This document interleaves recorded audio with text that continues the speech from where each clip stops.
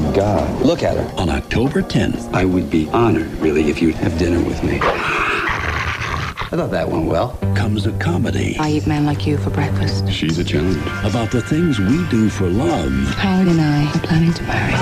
And the things love. She can't really love this dope. Does to us. Now that the marriage is winding down, dump him. From Joel and Ethan Coen. Is that all? Intolerable cruelty. You fascinating.